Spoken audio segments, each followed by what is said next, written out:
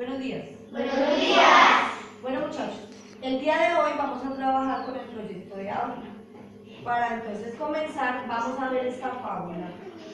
Después de que veamos la fábula, Estefanía, pon atención.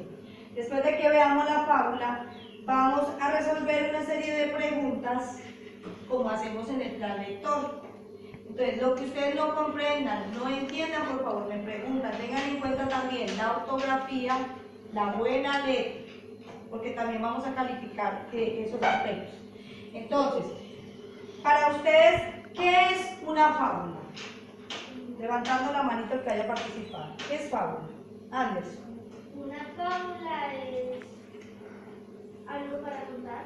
Algo para contar. ¿En qué? Una fábula es como un cuento, pero de. Un cuento actúan los animales. Muy bien. ¿Quién más? Juan.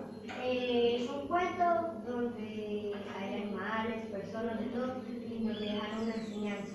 Muy bien. pero Un cuento de ani- con donde actúan animales, personas. Sí. Entonces nos deja una Enseñanza. Eso es lo importante de la fábula. Entonces es una historia donde se narran acontecimientos, hechos y que nos dejan una enseñanza. La enseñanza es para que ustedes la pongan en práctica para su vida. Entonces, el día de hoy vamos a ver esta fábula y ustedes muy atentos por favor, para que podamos, se llama el león y el ratón, para que miremos qué enseñanza les deja para su vida. ¿Listo? Y luego resolvemos las preguntas. Muy bien.